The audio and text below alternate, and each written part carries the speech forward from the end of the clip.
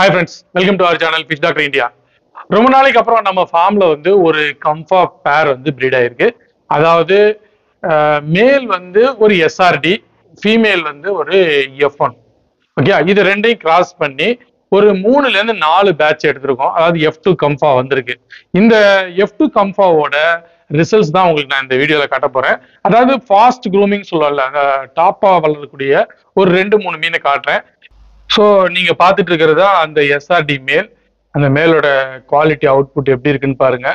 இந்த பேர்ட்ஸ் ஐ வியூவில் கூட காட்டுறேன் பாருங்க எப்படி இருக்குன்னு. நல்ல பேர்ல்ஸ் உள்ள எஸ்ஆர்டி ஹோம் ப்ரீட் தான்.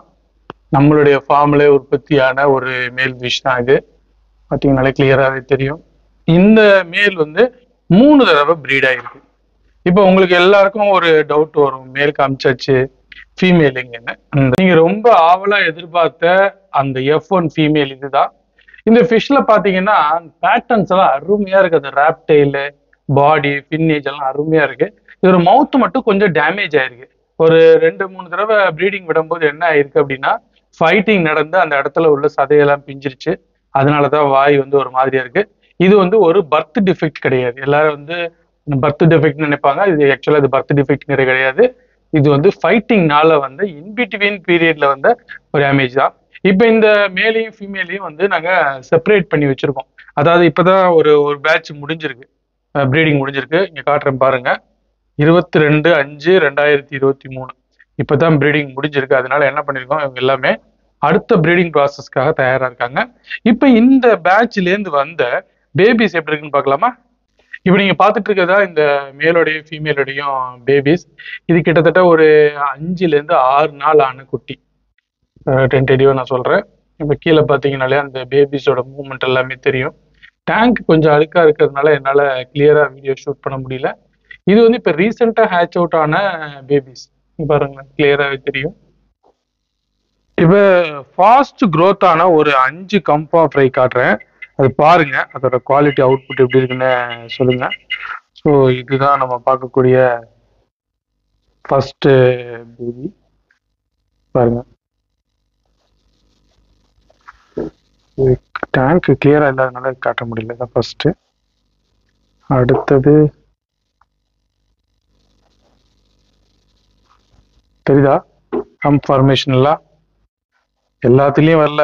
கம்ஃபா பொறுத்த வரைக்கும் கலர் தான். இந்த பேபிஸ் எப்படி இருக்கு பாருங்க.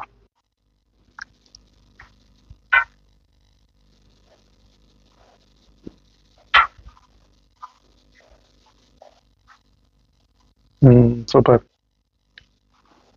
அடுத்தது பேபி பாருங்க கம்ஃபா கம்ஃபா வந்து எஸ்ஆர்டி மாதிரி நிக்க மாட்டேங்குது. இந்த கம்பாக்கும் ஆம்ப் வந்து பாப்பா இருக்கு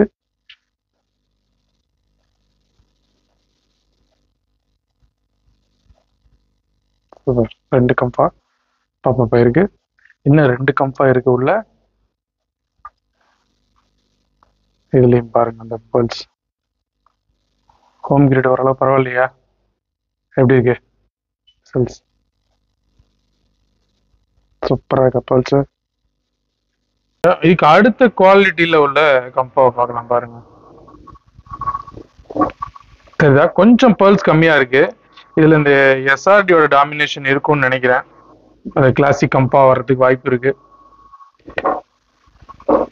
அடுத்தது எல்லாம் பாருங்க. அதான் எனக்கு தெரிஞ்சு கிளாசிக் கம்பா இருக்க வாய்ப்பு இருக்கு.